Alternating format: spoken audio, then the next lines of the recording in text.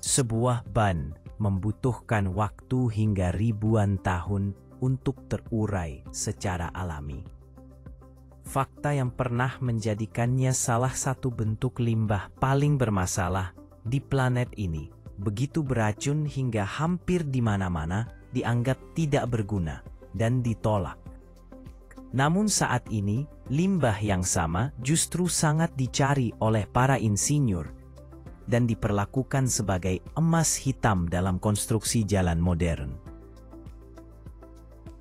Dalam video ini, kita mengikuti proses kelahiran kembali yang luar biasa dari sebuah ban. Sejak pertama kali dibuang, melalui proses penghancuran dan penyaringan presisi yang mengubahnya menjadi butiran karet ultra halus hingga akhirnya dicampur dengan bitumen panas untuk menciptakan permukaan jalan dengan daya tahan luar biasa. Membuka siklus hidup baru bagi material yang dulu dianggap tidak berguna.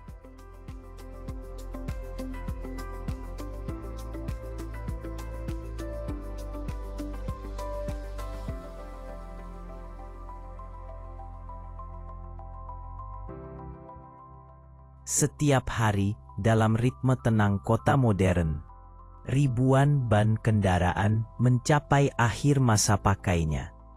Sebagian besar telah melewati batas aman keausan tapak, elastisitas dan daya dukung beban. Jika dibiarkan di alam, catuban dapat bertahan selama puluhan tahun tanpa terurai sambil perlahan melepaskan senyawa organik dan logam berat yang mencemari tanah dan air tanah. Di banyak negara, ban bekas hanya bernilai sangat rendah sebagai rongsokan.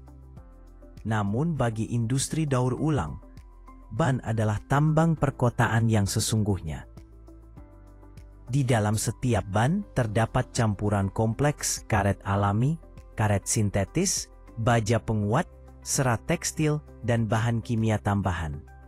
Material bernilai tinggi yang dapat dipulihkan jika diproses dengan benar.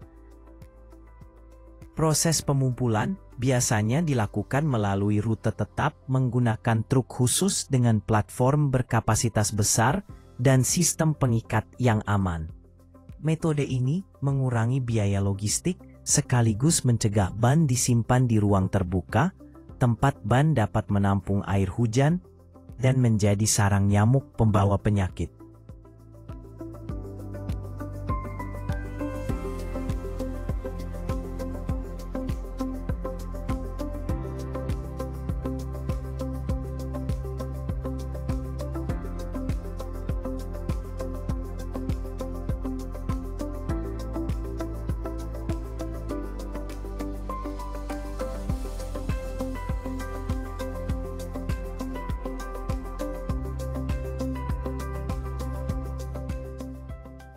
Proses daur ulang dimulai dengan menangani penguat baja yang tertanam di dalam ban. Komponen inilah yang membuat ban dapat mencengkeram pelek dengan kuat saat melaju pada kecepatan tinggi. Namun dalam jalur daur ulang, cincin baja ini menjadi hambatan terbesar. Jika tidak dilepas terlebih dahulu, baja dapat merusak pisau pemotong dan menghentikan seluruh sistem penghancur.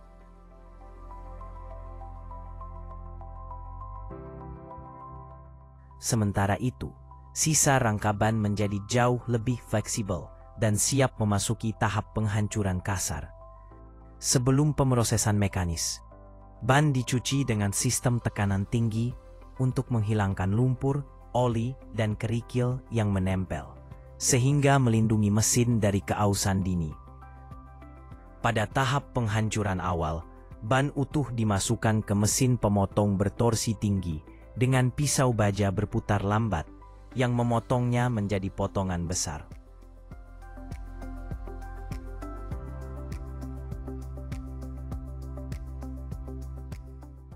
Metode kecepatan rendah ini meminimalkan panas, mencegah aret melunak atau menempel pada pisau.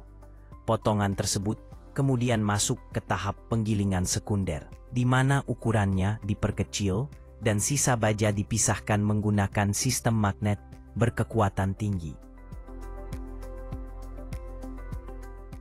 Hasil akhirnya adalah serbuk karet dengan ukuran partikel yang terkendali.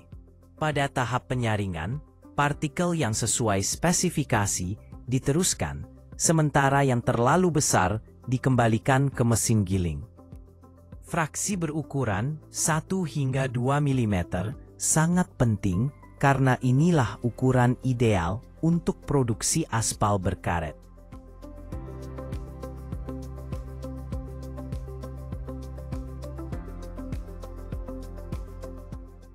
Serbuk karet masih mengandung kelembapan dan debu sehingga harus dikeringkan sebelum dicampur.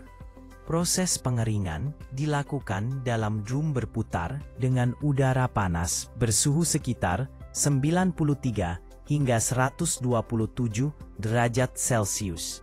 Proses ini membuat permukaan partikel lebih aktif secara kimia dan siap berikatan dengan bitumen panas.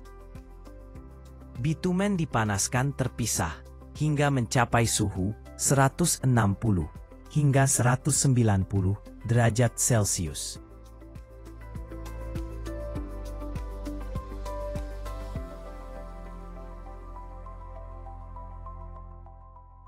Serbuk karet kemudian dicampurkan dengan rasio 10 hingga 20% persen dari total pengikat. Proses pencampuran berlangsung selama 30 hingga 60 menit di mana partikel karet menyerap minyak ringan dari bitumen, meningkatkan elastisitas dan ketahanan retak.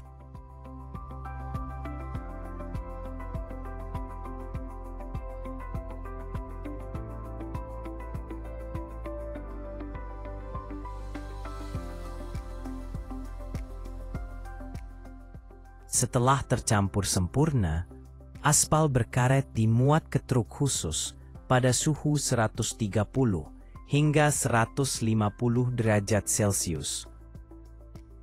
Lalu dikirim ke lokasi proyek.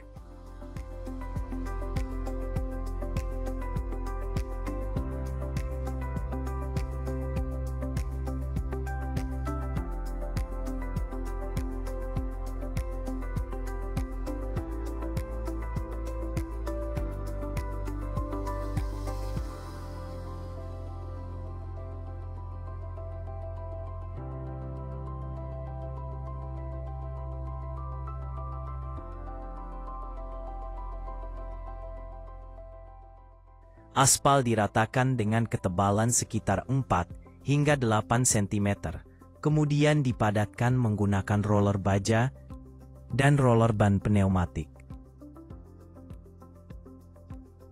Seluruh pemadatan harus selesai sebelum suhu turun di bawah 80 derajat Celcius, karena pada titik ini daya ikat bitumen mulai menurun. Dalam beberapa jam. Jalan siap kembali digunakan.